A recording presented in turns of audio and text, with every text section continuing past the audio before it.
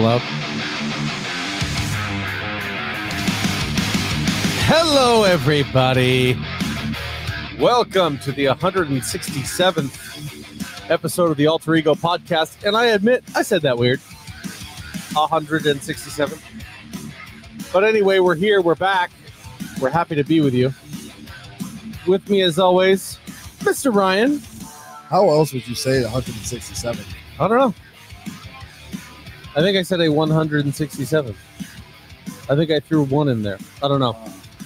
Ryan, how you doing up there in the Great White North, sir? Uh, I think grammatically it would be 167. Right. Not a or the. Yeah. Right. I knew it was wrong. Can we move on? Sure. Sure. Sure. yeah. Hope everybody's doing well. Happy Wednesday by the time you're listening to this. Uh, okay, so Speaking of happy back, ready to rock and roll. We got a lot of things to talk about, a lot of things that have happened since the superb owl has gone off. Um, I love the superb owl. Yeah, a lot of good things. Um, we got a Deadpool trailer. We got officially got a Deadpool trailer. Do we want to just do uh quick quick reactions to that, huh? I don't even remember it. So Okay. Uh, I think it was. I think it was the perfect trailer because it gave us a lot and nothing at the same time. Um, yeah, in terms of a lot, I think it really set the tone for how the movie's gonna be because Deadpool's talking to the TVA about getting pegged in the first 30 seconds and how it's new Yeah. for Disney. I am not new to pegging, but Disney is. Yeah, yeah. I was like, "Ooh, okay, he is," and that was just like a a nod to the camera to say, like, "Hey, this is not going to be Yeah. toned down for anybody." um, I think it gave us a ton of speculation as to what's going to happen. They showed Deadpool in a lot of different areas, one of which even appeared to be the opening to Age of Ultron. Just gonna say, yes. Yes. Yep. I mean, we definitely get a Wolverine. It's the the the movie is called Deadpool and Wolverine. What Um, if? What if? Just a crazy hypothesis, right? What if it's Deadpool's fault that Ultron ends up being a part of Armor Wars? I think a lot of it's going to be Deadpool's fault. I really do, and I think he's not going to care either. No. I had I gave you my premise of what this movie what we thought this movie was about. What was that? I have no idea. that was weird. That was you, buddy. That was not me. Yeah. Anyway, Okay. moving on. Uh I think that the TVA after the events of Loki season 2, I think the TVA approaches Deadpool and they're like, "Hey, we fucked up. Can you go and and take care of a couple of our issues for us off the books, off the record?" Kind of thing because if you see that scene when he's dragged to the TVA, they're the ones that are dressing him in his uniform. Yeah, I I don't I don't I don't know. I think it's I think it's it's a weird thing, right? Like I, I'm definitely gonna need to see more because there's no reason the TVA needs Deadpool. I mean, unless this is the TVA that we're used to, which it doesn't look like, and they are No. not pruning anybody. So they're morally not for that. But I think there's just too much to this to just go. It's it's a it's a thing that they need to pluck somebody out of time to be able to do this. I think it has some it definitely has something to do with him stealing Cable's time machine in Deadpool 2 and going in because in the very first scene, a lot of people who died are there. It's true. You know, like Peter's there, his wife Vanessa's there, Shatterstar is there. Al doesn't die, but she's there. I mean, it's a lot of things that have changed. So I don't know. It's gonna be a good one. Also, there's rumor that uh, there's more than one version of Wolverine in the movie. Just saying. Just saying. Uh, I'm all about A that. conversation about Daniel Radcliffe, the boy who lived himself, playing Wolverine. I'm so down for that. If if they have him as a variant, a Wolverine variant, we have got to get some sort of Harry Potter joke out of out of Deadpool. I would love him to see him and just go, oh, 10 I points for Gryffindor. that little uh that little lightning bolt in his head. I Yeah. Like he's he's gonna forever be Harry Potter, no Yeah. matter what he does for me. Like I can't. He's done so much good stuff.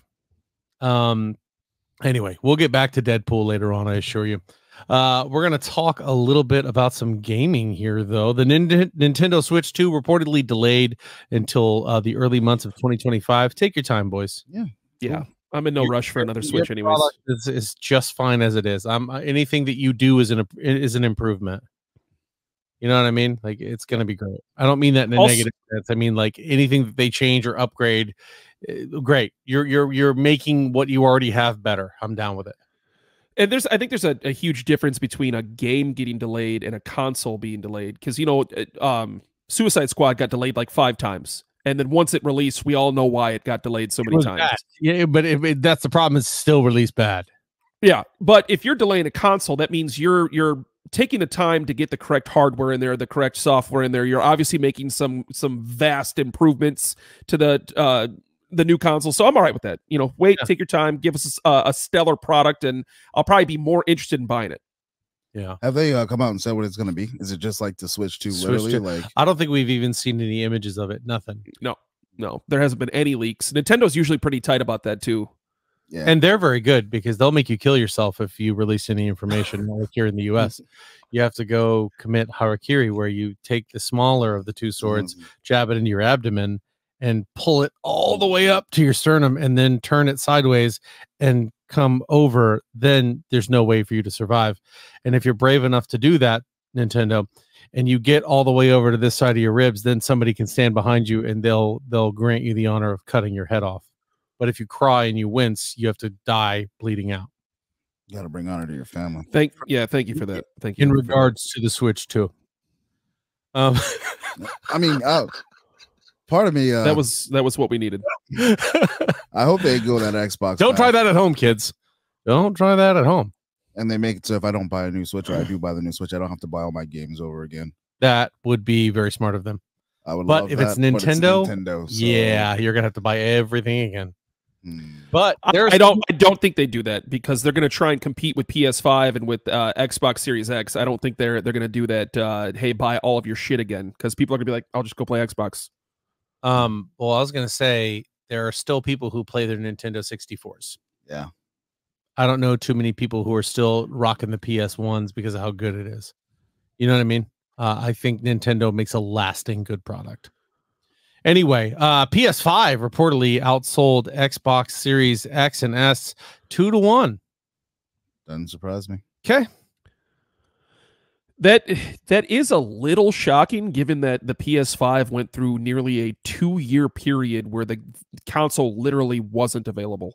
When we've had this conversation several times, PlayStation sells in a lot more countries and has been around longer than Xbox. So good for them. I think that There's- that's part of the reason why they end up selling two to one now. Right. Well, I actually thought about this too. I think there's a there's a little bit more of a reason to it. Play PlayStation's been around longer than Xbox has. You know, the PlayStation 1 the biggest competitor to the PS1 was actually the Nintendo 64.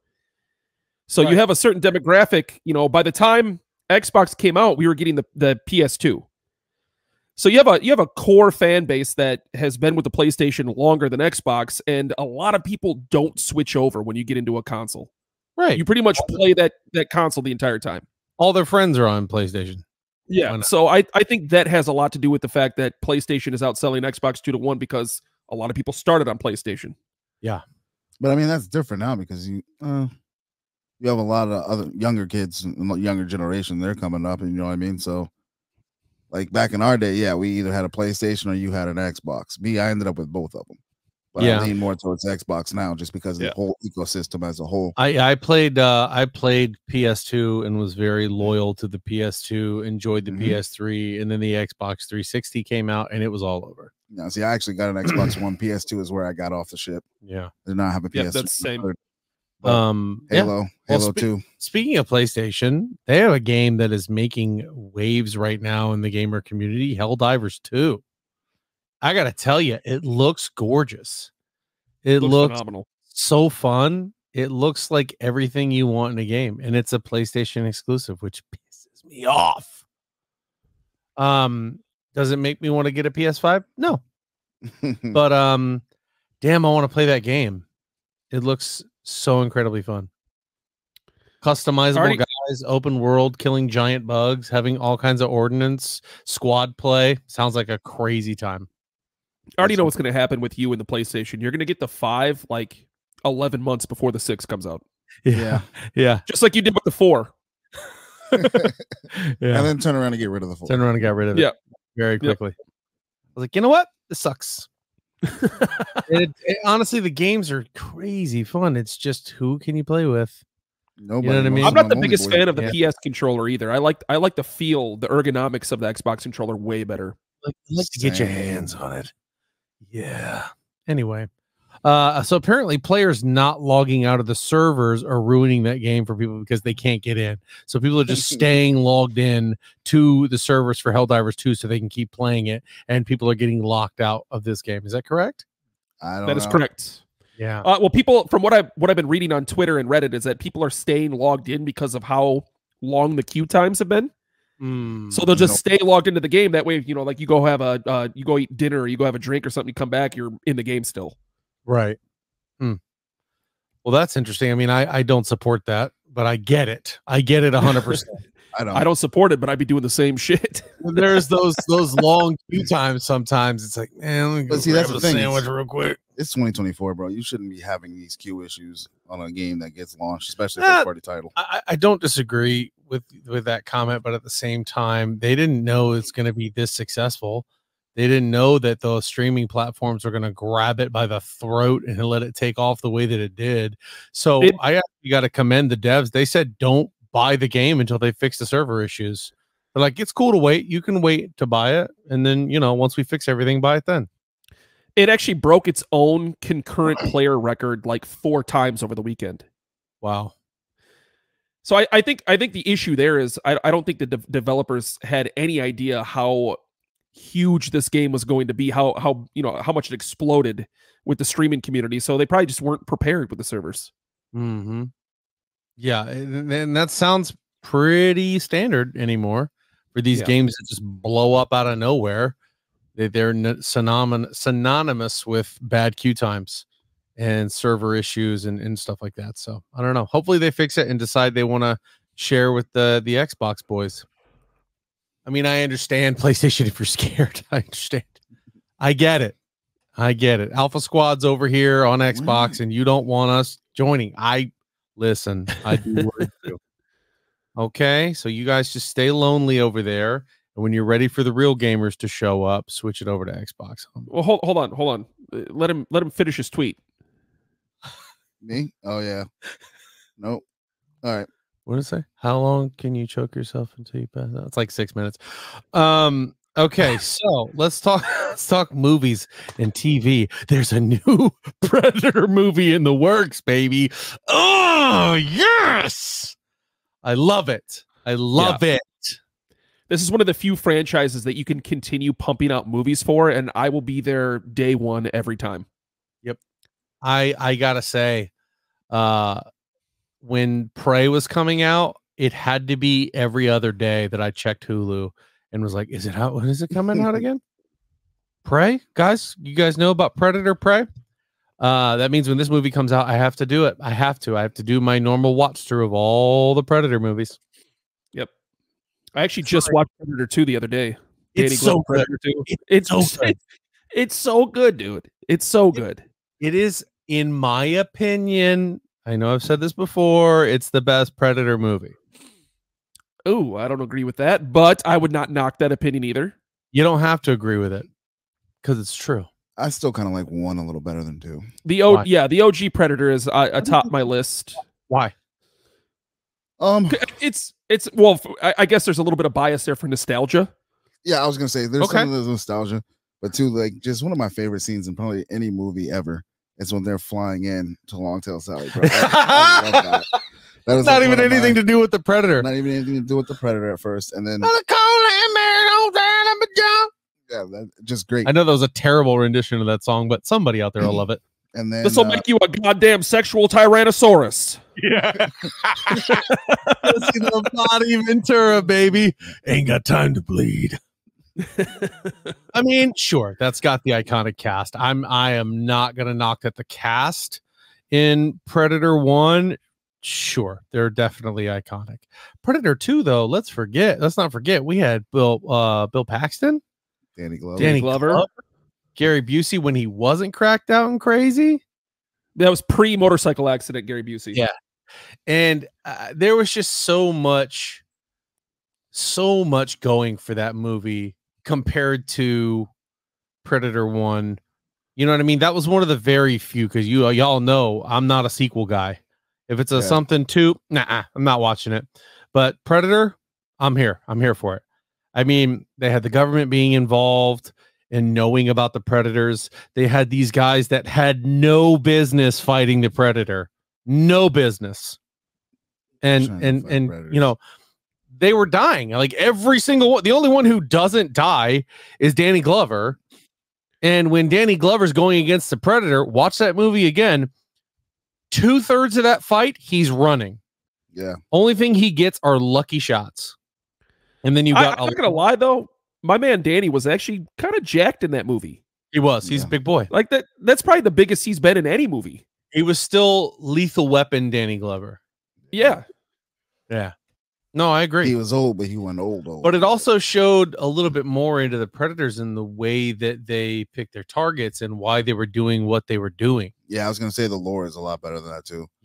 Laura's I mean- Laura's far better. Yeah.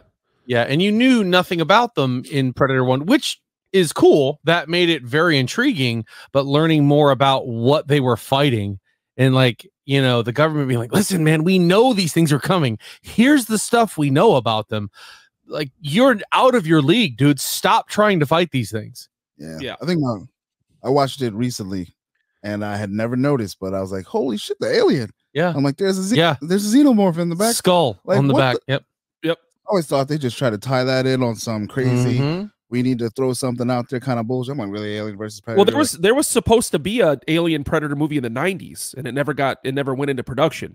Right. They didn't do that. In, what what was it? 2004 or five? They finally did the Alien versus Predator. And I did I did not enjoy it. I enjoy Scar, who's the main predator in that movie. He's the young one who goes in and, and handles business, but I don't know. The rest of that, the human cast in that one, I could I could do without. That's the one with Sanaa Lathan. Very right? bad. Yes. Oh, I kinda like that. Um, Predators was actually really good too. The one where they're dropped on that world. Oh yeah, they're all like With, um, and you got a Laurence Fishburne, crazy. I love it. Such a good Uh, movie. Adrien Brody. Adrien Brody, yes, Adrien Brody. I was trying to think of his damn name, and then the, the guy who played uh, Venom in Spider-Man Three from that Topher- '70s show, Topher Grace. Topher Grace. Yeah, Really good in that movie, Topher Grace. Really very good. good, very good. Um, yeah, I don't know. So this one's supposed to be set in World War II. All I can think about is just World War II weapons, and this guy go, you got the predator going after those damn Nazis. oh, there's oh man, that's a great. American That's actually a, the Nazis. You know, there's always that conspiracy theory where the Nazis were trying to get into alien technology. That'd be a great storyline. How about that? What about? Oh, I would get a T-shirt in a heartbeat of a predator killing a Nazi. Yeah. Come on Yeah. now. Tell me Maybe that's maybe it's the Nazis that stumble upon the predator in like Antarctica or something, and they let one loose, and all of a sudden just goes on a rampage. Hmm. That'd be cool. I actually would not mind seeing another AVP set in World War II. How wild would that movie be? Oh yeah. Oof. Where the Germans are trying to do something to get the predators to show up, so they let the aliens loose.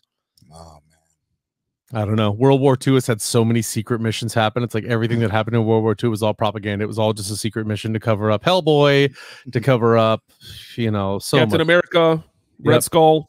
In in other news related to the cinema world and things that are important to you, the the, the listener, the actor who plays uh, Senator Palpatine has confirmed, yes, Palpatine did have sex. Good for him. I want to explore that just for a moment, if I may. Oh, Let's picture Senator Palpatine. Now, was he having sex pre or post microwave? Thinking pre microwave. ooh. Gotta be pre Well, I mean, he is he is the the Dark Lord. He is the Emperor. Yes. Tell Giselle to come to my chambers. Oh, I'm afraid I'm not paying for dinner unless you're sleeping with me.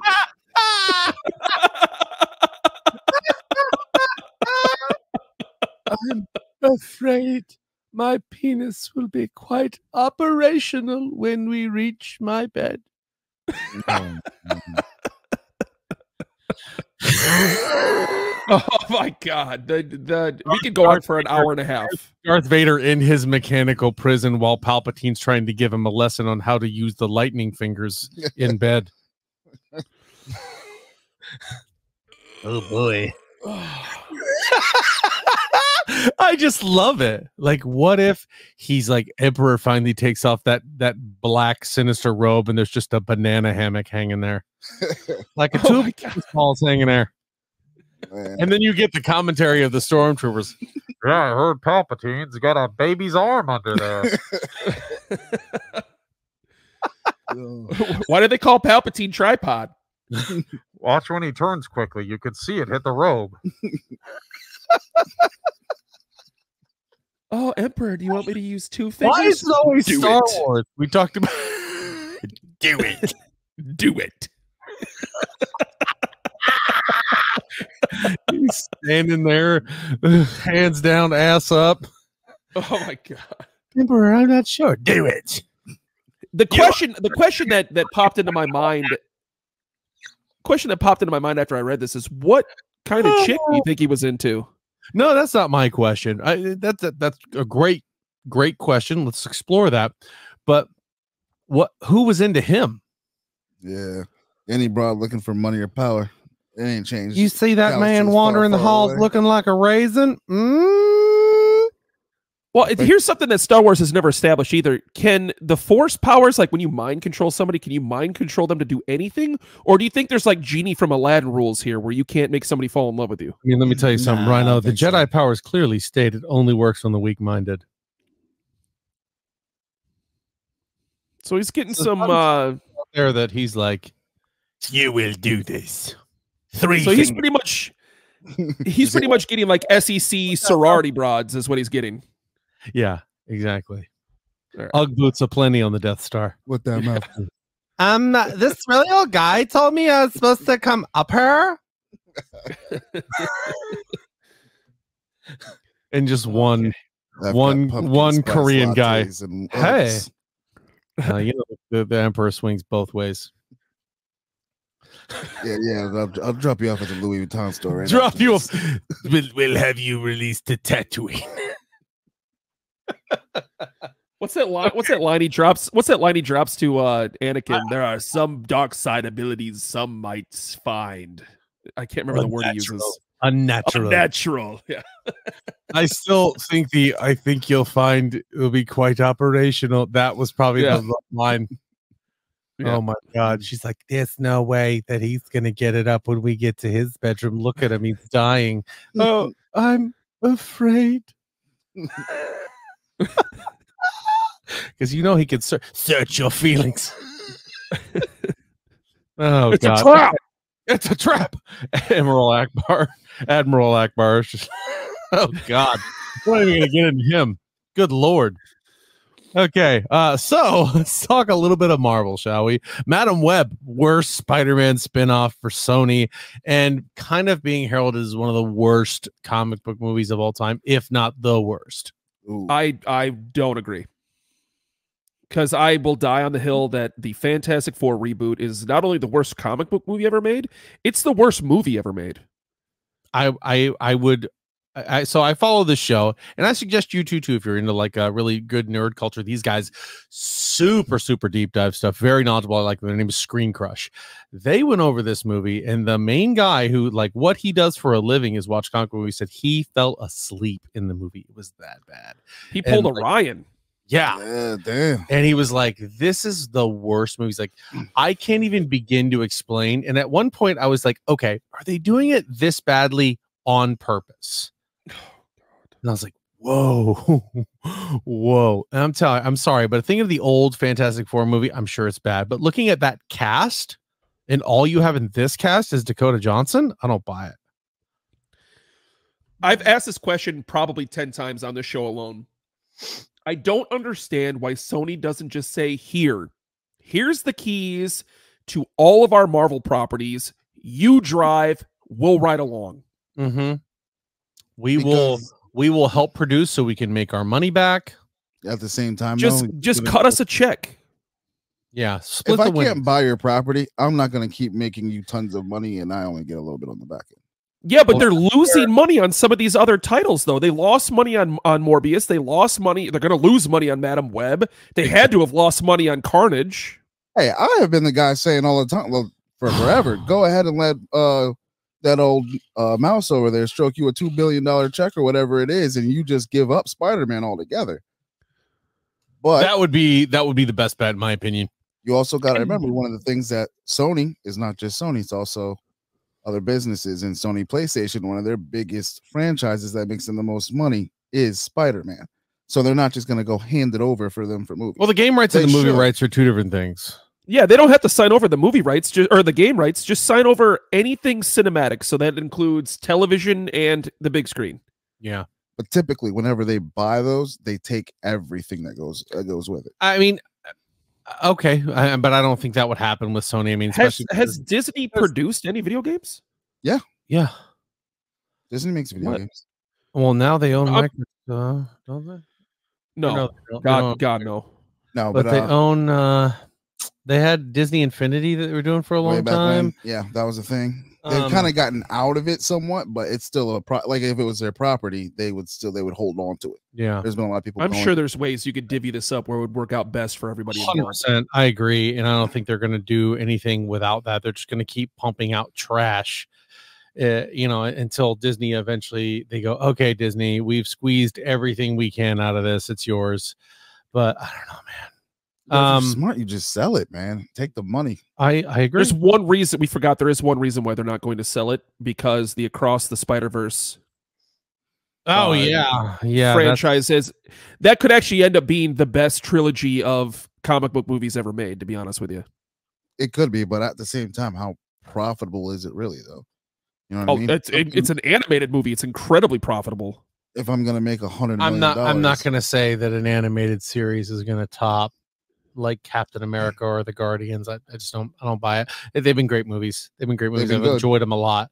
But yeah, no, none of them. If if Into the Spider Verse is on and Endgame is on, I'm popping on Endgame every time. I don't. I don't know. I just it, and it's phenomenal. I, I don't think it's any secret. I love those movies, but I just don't think it compares at the end of the day. Um, but let's talk about one more thing. Fantastic Four. We finally have a casting. Finally have uh the full Fantastic Four. And I know the big name was Pedro Pascal. And there Reed are Richards. three other really big actors and an actress, obviously, that have been named. The one guy's the guy from The Bear who's playing Ben Grimm. Uh, Eben Moss Backrack, Bachrach, Bachrach, I know he's a big fan of the show, buddy. Just DM me. Let me know how to say your last name. Uh, Joseph Quinn is playing the Human Torch. Who is Eddie from uh, Stranger Things? He was the leader Yep. of the Hellfire Gang. Yep, and then uh, Vanessa Kirby is playing Miss Invisible. And I don't know. This is In- this is Invisible Woman. Invisible Woman. Okay. Invisible Woman. Sorry. Um, uh, the most powerful member of the Fantastic Four. Ooh, that. Ooh. You think so? Yep, hundred percent.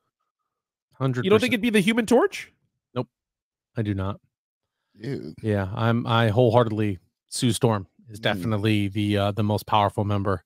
Now she's not like the smartest of the members. Obviously, that's Reed. Reed's smarter than everybody. Johnny definitely has. All the Fantastic Four have really cool things about them, but um, so. I'm Who's excited for that? that casting, and clearly so is Marvel because they set that movie, which take this with a gigantic grain of salt, are set to release that movie two weeks after Superman Legacy comes out. Yeah. So Superman Legacy comes out July 11th, 2025. Fantastic Four comes out July 25th, 2025. So July is going to be a huge month for comic book movies in 2025. 2025, yeah. Um, this is Marvel's first family, right? This is, I mean, the Human Torch was the first, one of the first comic book characters ever created, which back in the day he was a robot, but still, uh, fa- Fantastic Four is the way that they started.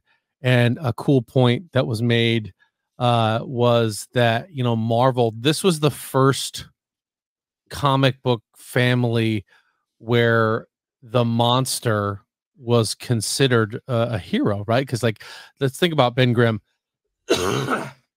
he has the makings of a supervillain, right? Like, uh, he he was created to be you know like most most bad guys have the experiment that goes wrong. They turn into this big monster and then the big handsome guy comes in and beats up the monster. This was the first time that the monster chose to do the right thing and be on the good guy team. This was groundbreaking stuff for marvel. Shout out to ScreenCrush for that for that analogy.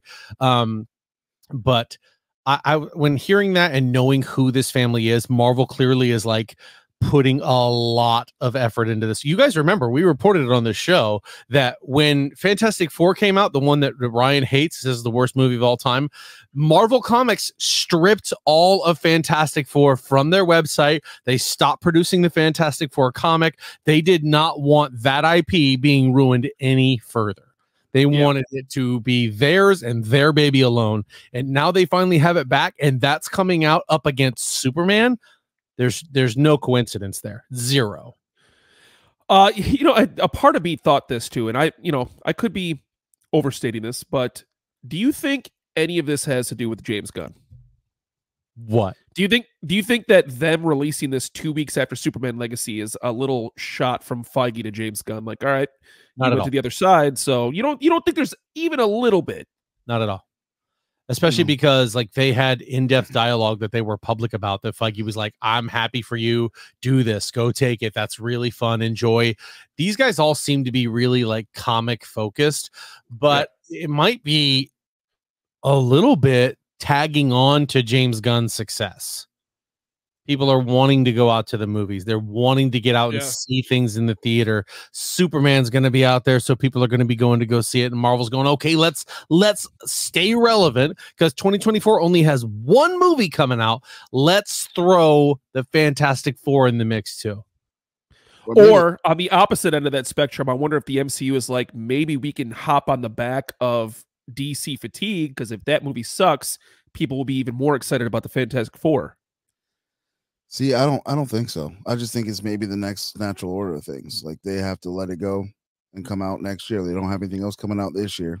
Marvel's been well, they the- did. They did. They did usually have a July release for movies when they were pumping them Oh, out two, three at a time. you got a summer Yeah. release. It happens to be Fantastic Four. You're just up next. It's just your number's called. I I, I would agree with that if it was it, no, just just because it's you. If it was Blade, yeah, okay, Blade's next up. But the Fantastic Four with the treatment that they've gotten, I don't think that's the case. Uh, the next question that that has been brought up is: Could Pedro Pascal, who has meteorically risen to fame and become one of the most popular, most loved guys in all of Hollywood, it, could he be the next Robert Downey Jr. role for the MCU? I don't think so. I 100% think so, to the point where I think it is going to happen. Not could happen. I think it is going to happen. Let's not forget, Robert Downey Jr. was a nobody before uh, Iron Man. That's It. Hold on. Hold, hold on. Let me let me expound. Let me expound. Let me expound.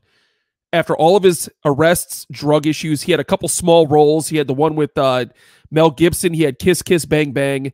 That was it. All of a sudden, US boom. Iron Man. U.S. Oh, Marshals was uh, U.S. Marshals was uh, prior to his rehab and all that stuff. But his him being a nobody, incorrect. He people saw Robert Downey Jr. said, "Oh shit, Robert Downey Jr. is an Iron Man." I mean, I, to say he's a nobody, That's no, no, no. I, all right, nobody may have been the, the wrong nomenclature Okay. to use, but that was that was exactly the reaction. Was oh shit, it's Robert Downey Jr. He's Iron Man. It wasn't. Oh my god, Robert Downey Jr. is Iron Man. Like there's a difference between the two. I think He it was, he was he was almost forgotten about until Iron Man came out. He was almost forgotten about. And if it weren't for Mel Gibson, he would have probably never been an A-list actor ever again. we can't really that- tell that, but I mean that's that's speculation. I don't, I can't say it's so wrong. anyways back I'm, I'm i'm i'm spiraling out of control here let me go back to my my original point reed richards is the character in marvel that isn't just equivalent to tony stark he might be higher than tony stark in terms of leadership in terms of impact on the entire uh, realm of things with Marvel. I mean, he he led the he led the Avengers. He led everybody against Thanos during the Infinity Gauntlet series. He, he's he's a leader, the same that Captain uh, uh, Captain America. And now you have uh, an A-list celebrity like Pedro Pascal, one of the biggest names on the planet, playing him. I think he can be the next Robert Downey Jr. I thought, I thought for a second it was going to be uh, Doctor Strange, but he just has not been given that big of a stage to take that over. And I was gonna say I don't think they're gonna do the same with the Fantastic Four. You at best we've gotten one Fantastic Four movie, maybe a sequel. You're talking right like Iron like Robert Downey Jr. He got big off of Iron Man. Iron Man did well. And he's he's the guy. He's the guy we've known for all this entire with the whole entire saga, right? We fell in love with the guy. Pedro Pascal just popping up after like 30 something movies. And we already I don't I don't see him. I don't see him just taking over and being the guy.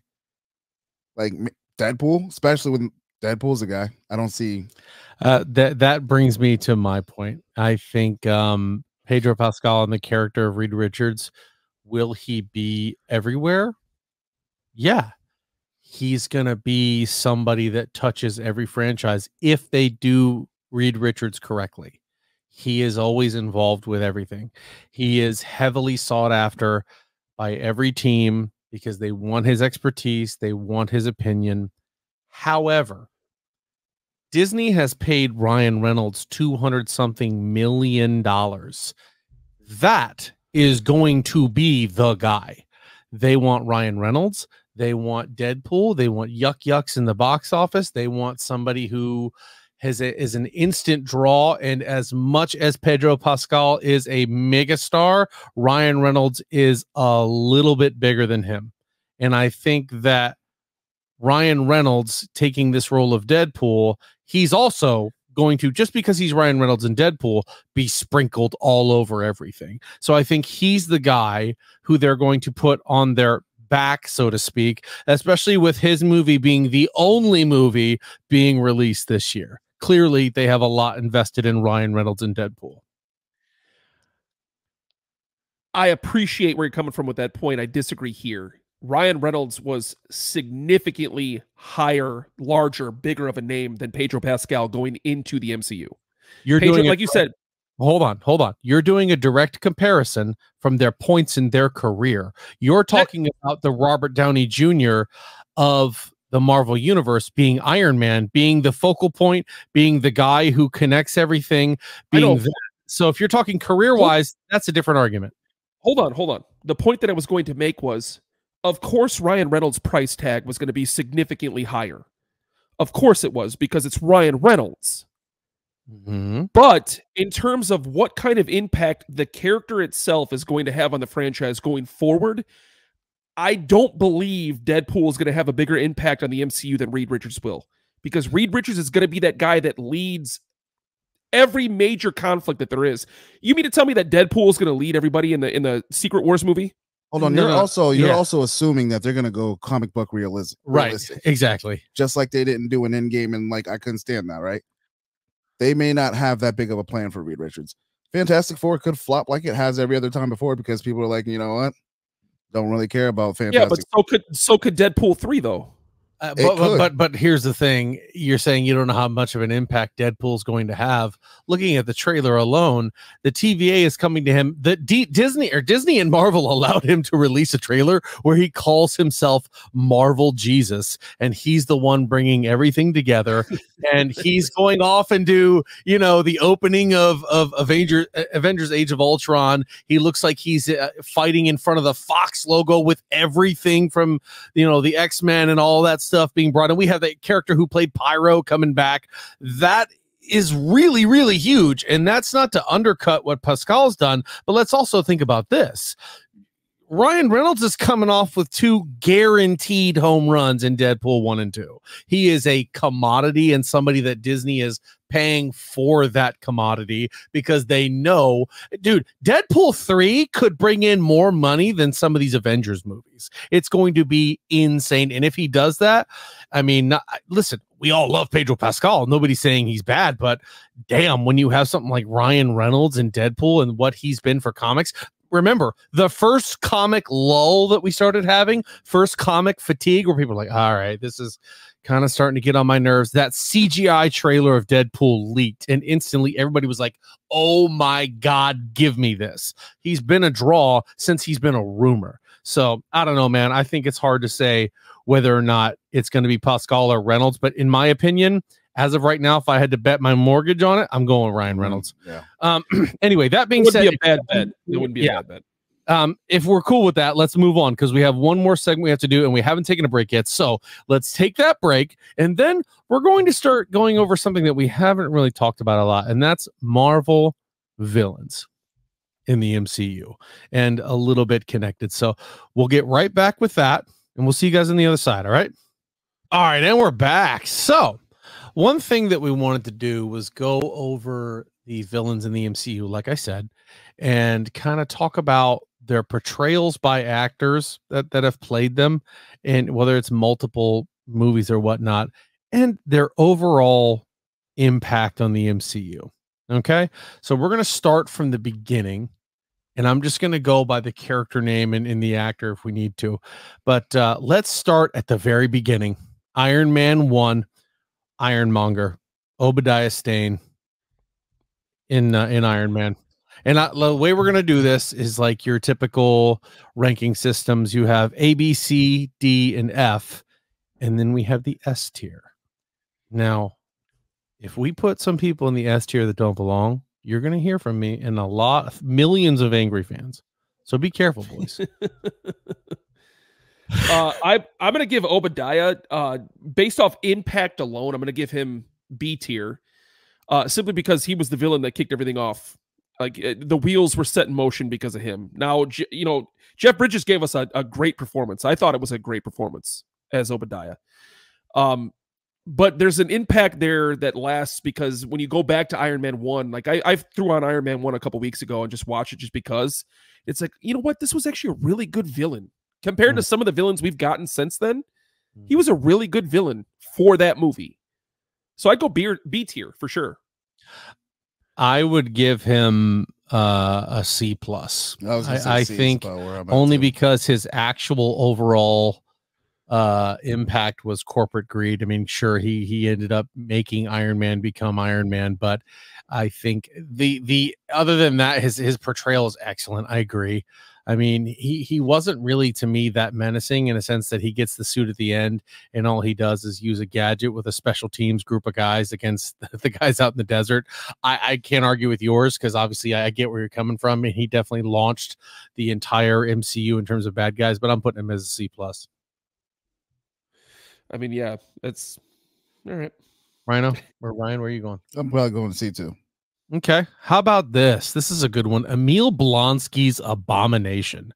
Now, this does count as the Incredible Hulk and his appearance in the She Hulk series. D. Yeah, I was gonna say D. Probably he doesn't really do anything. He's just there. Yeah. Overall impact is a non factor. He did not impact the MCU at all.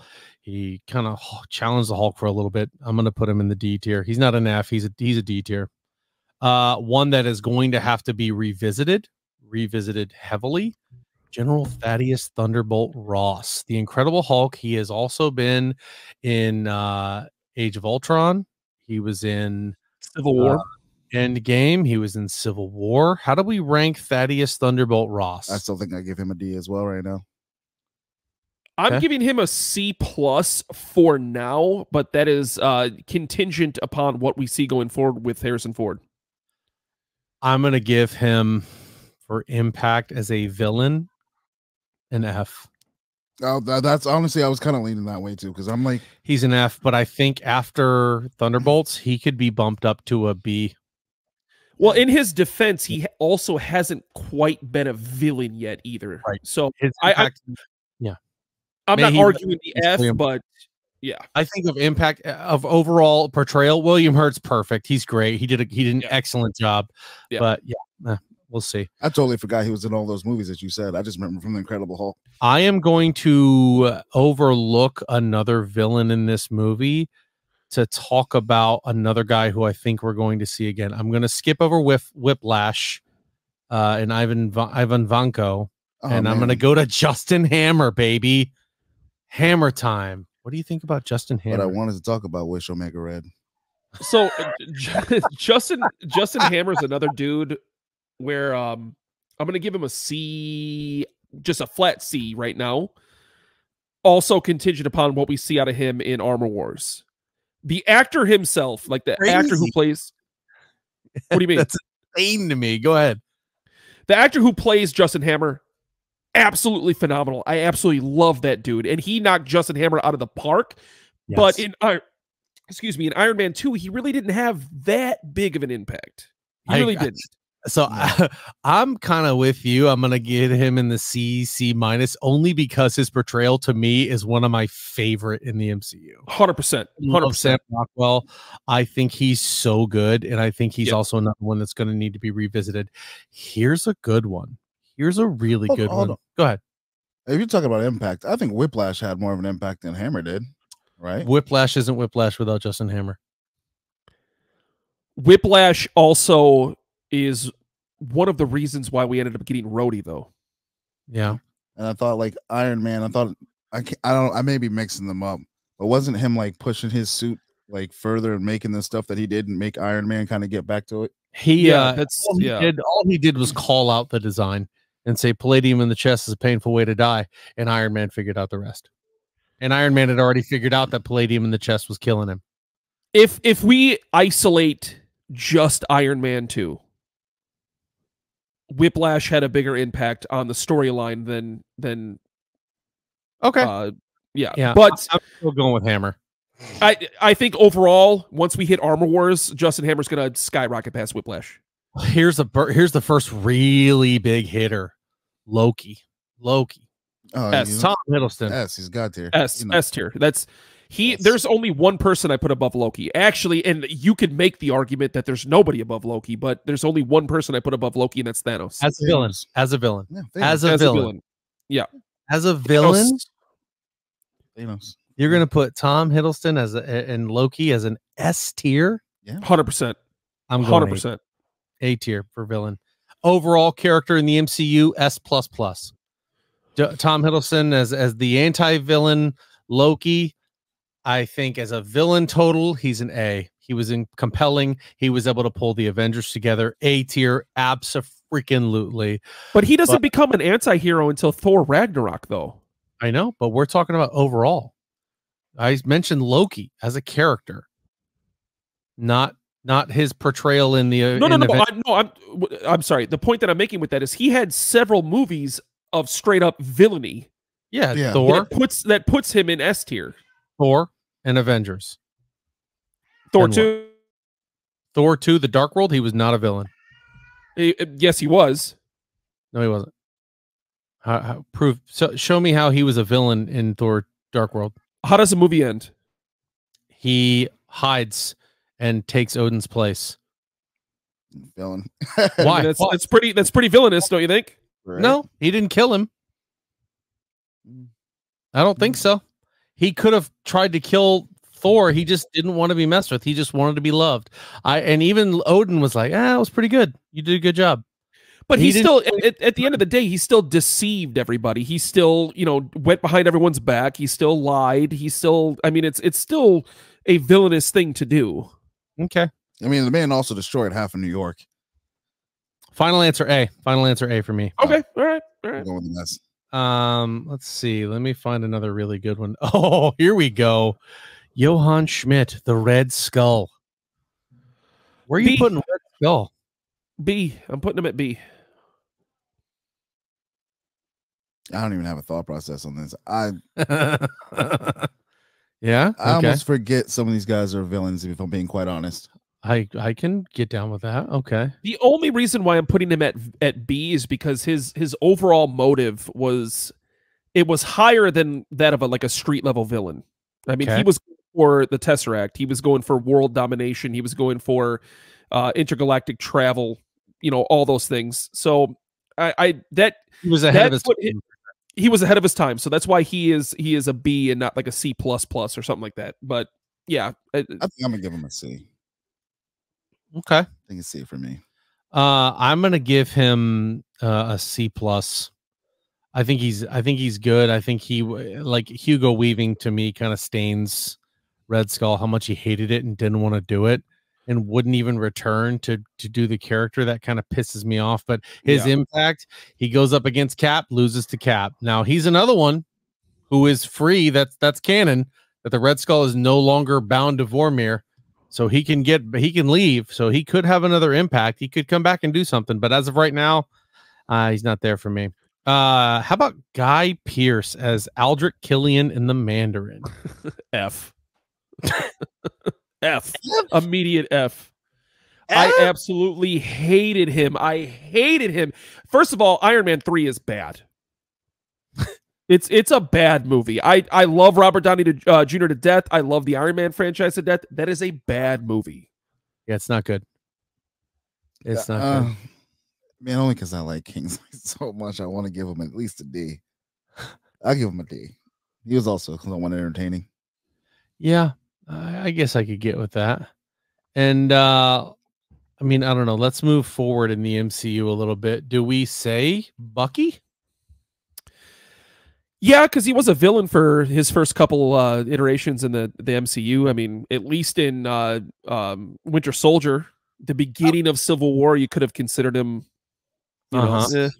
And honestly, for me, he didn't have a thought process. You know what I mean? yeah mean? He was just a bot turned on, go do. Like that for me doesn't really make him a villain. It makes him like a lackey more so than anything. Hmm. I'd probably give him a D plus to be honest with you as a villain. I I have to agree with that honestly. Yeah, because I mean, like I said, he didn't have it. He didn't care. He You was said- just doing what he was doing. You said an interesting thing there, a uh, a bot to be turned on. That brings us to our next person, James Spader in Ultron. I'm just gonna give Hey. him that. I love James Spader.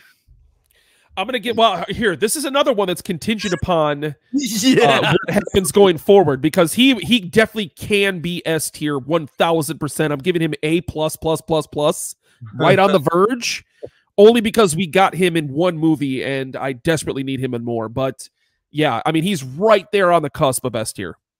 Yeah, he is. He is one that I will need to see more of. But that being said, one movie, I'm still putting him as an A tier villain. I mean, absolutely, 100% A tier.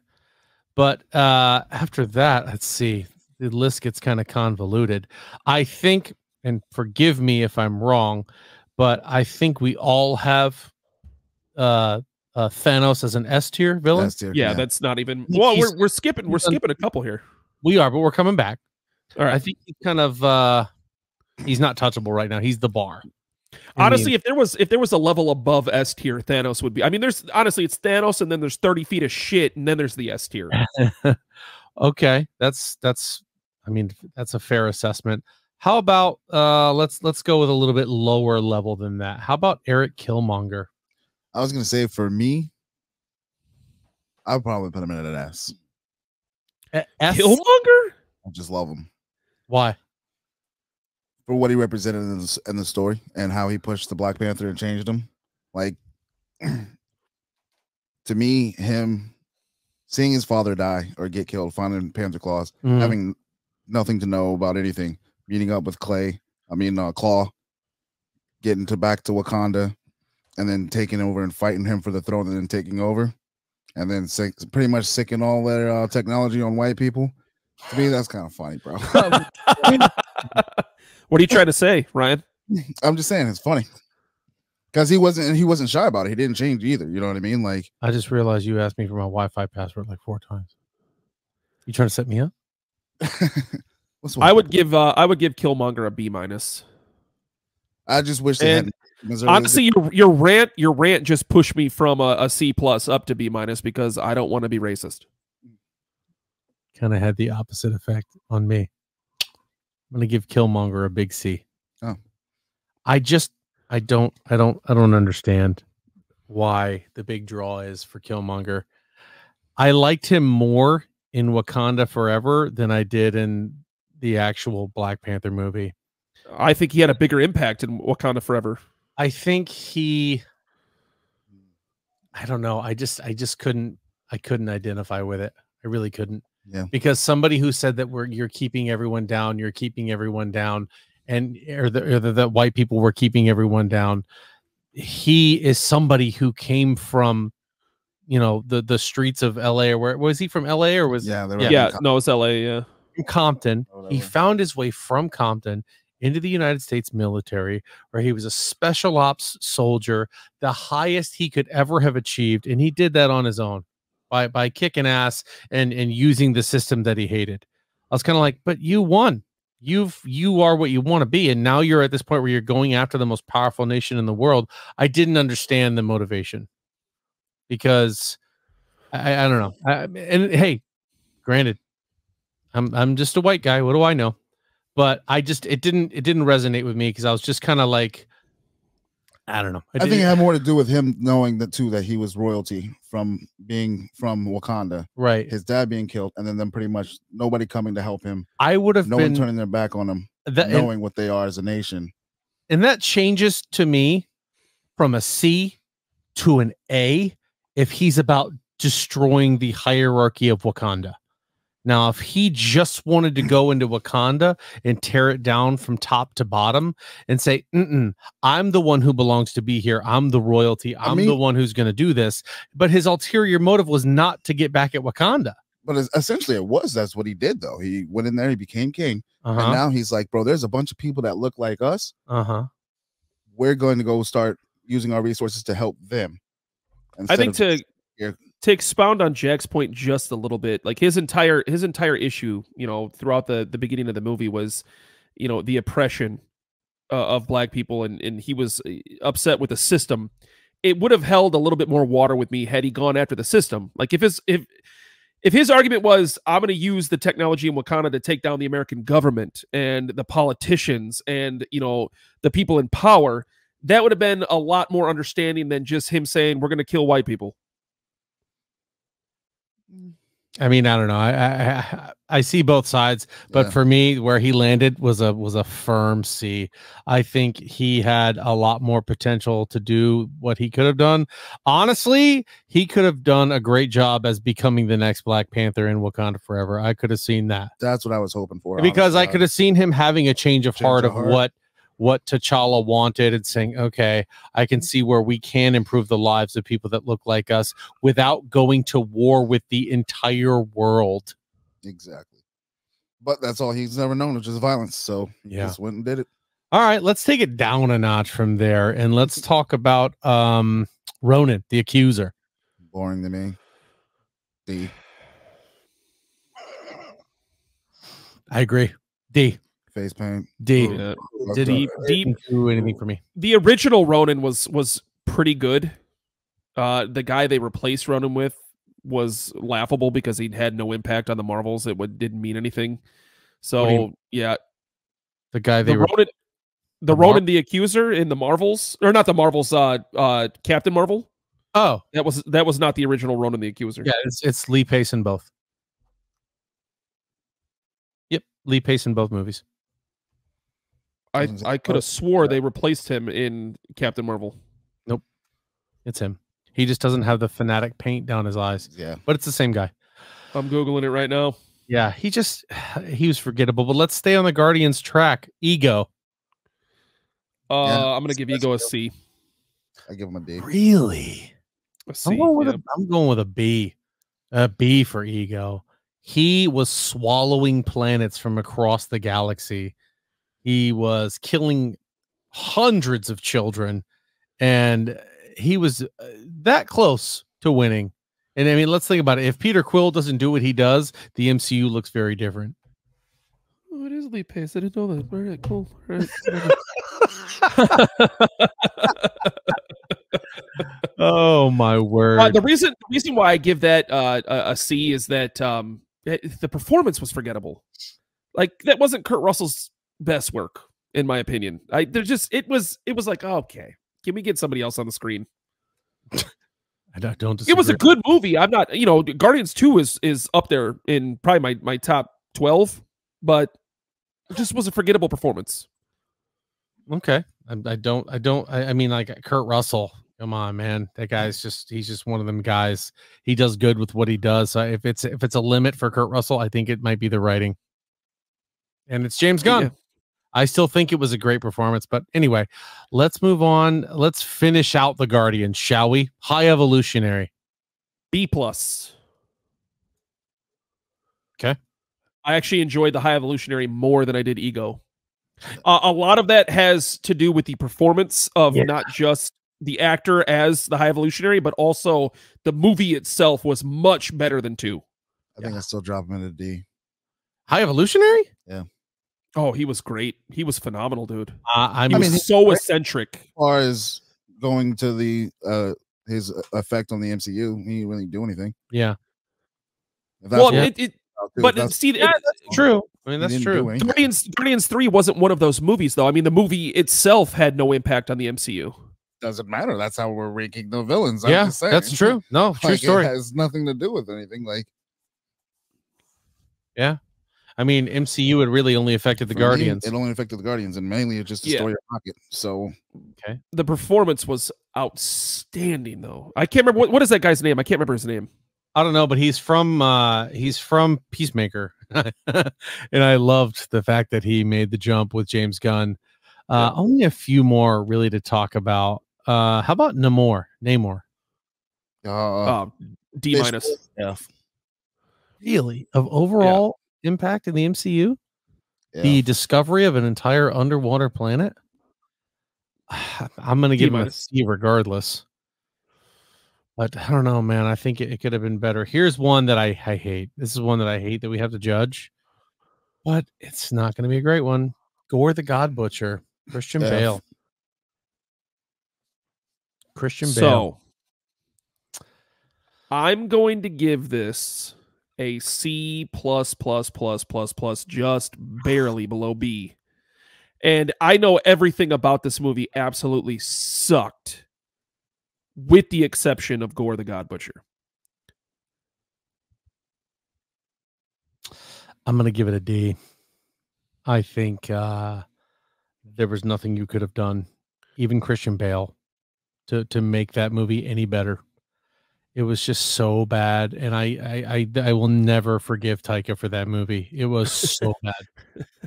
You how do you make Christian Bale, Chris Hemsworth, you know uh, that whole entire ensemble? How do you make that movie so incredibly bad? Taika. All right. Couple more to talk about. And this one's going to definitely be one that needs uh, a revisit. I hope. Kang the Conqueror. Ooh, So far, I'm going to give him a B minus. yeah, I'm not gonna lie. When it was Jonathan Majors and it was gonna be him, I was really rooting for him because I Yeah. love him. Me too. Yeah. I mean, uh, me, I'm uh, like you gave for Christian Bale, I'm giving him a B plus plus plus plus plus. I think, And if he was coming back for another movie to be Kang, he's an A, easily an A. yeah, I think I'm Uh, if sell- it was Jonathan Majors, and this this is also recency bias because we've seen Jonathan Majors and what he can do. He could have eventually been S tier, easily, easily S tier. Yeah. Now, if they end up going with uh, uh, Denzel's son to recast, Great. who knows? Who Great. knows what we we could still get an S S plus tier character.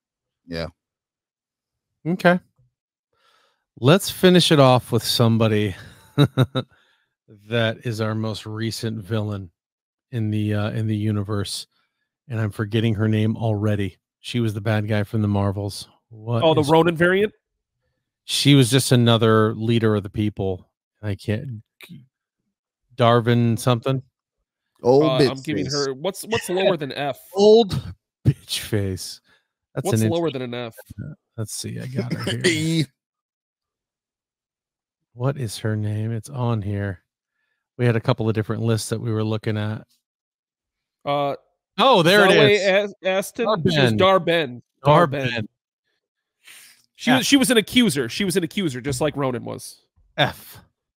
Yeah, 100%. uh, the lowest possible. I mean, honestly, that's an incomplete. That's a you withdrew from my class You didn't and got a refund before the date. By the way, we I, I finally saw Marvels.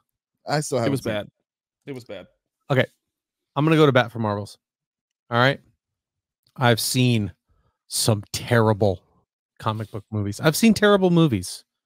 I've seen movies that when it was done, I was like, I will never watch that again. Eternals. This ain't that. I mm. think we're used to some bad performances. I think they didn't know what kind of movie they wanted to be. The problem is they have three excellent leads in this movie, and they didn't know what to do with them. And the problem is the villain was just a consequence. She was overshadowed. She, to me, didn't do anything She was she was irrelevant to the movie almost. almost and, and like she didn't do i don't know there was no backbone to her she just eh, showed up and did nothing but call carol danvers the annihilator and these villains that don't ever see reason and don't ever have any sort of you know what maybe there's a way around this. Maybe i'm i'm mm. wrong right? The villains that are just so blindly no you're bad. I'm good. I know what i'm doing is right. This is just one of those so such forgettable forgettable villains. I would have rather seen all three of the ladies work through a problem they had together to solve like a geological crisis or maybe helping the scrolls or something for 90 minutes than watching them fight Dar-Benn There's a couple. There's a couple big ones that you forgot that I kind of want to throw out there, if I may. okay Uh, the first one is Malekith, Who? Thor Yeah. two. Yeah, uh, overall impact is pretty big because he kills Frigga, but I'm still the performance and all that. I'm putting him as an F. F. I would I would have given him a D minus. Uh, that's the the L from Thor I- two. I didn't miss him. I purposefully skipped him. Yeah. Oh, all right. Well, then you you did you did forget one that I know you didn't skip on purpose. Let's hear it. There's no way you skipped uh Xu Wenwu on purpose. No, no, no. I would not have skipped him on purpose. That's the villain. I'm giving him I'm giving him an A minus. From who? Shang Chi. Shang Chi, the dad from Shang Chi. Oh. But as his impact on the MCU, Not that big. he, Well, no, no. That's no, that's not Ten true. He gave Shang Chi the ten rings. He's he is also the ten rings from all of the rest of history. So he's Yes. protecting and an immortal for a very long time. And the performance alone, I'm Well- giving Xu Wenwu a solid A. So, solid A. yeah. other than If that that, wait, movie- but if I'm giving him an A, I've got to give Loki an A plus plus and put him towards the the uh, Yeah. the S tier. so other than that movie, where else are the Ten Rings really used? Uh, Every, everywhere. That's Yeah. that's who kid that's who kidnapped Iron Man was the ten rings. In yeah, the in the literally the original Iron Man, it was the ten rings that kidnapped him. But yeah. not that guy, is what I'm saying. No, but it was but his his name has been synonymous with Marvel the since the very beginning. The ten rings have been.